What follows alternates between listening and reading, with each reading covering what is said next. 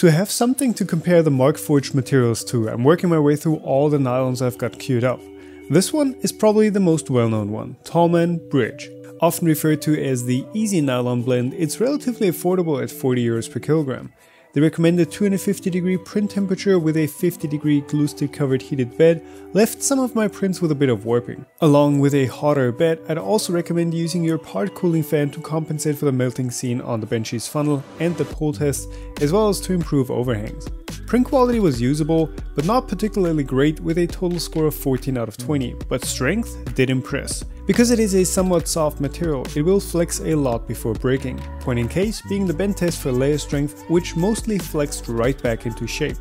The layer adhesion version snapped at a respectable 3.5 kg load. Because that first test did not break, I have to rely on the pull test to calculate a strength rating, but those two also refused to snap below the maximum tested force, which nets Taulman Bridge a perfect 128 kg combined rating. Temperature stability was good as well, with very little softening happening under boiling water. As with most nylons, the raw filament needs to be stored extremely dry, so if you can deal with that and the slightly lower stiffness, Taulman Bridge is a material that will give you a hard time if you try to break it.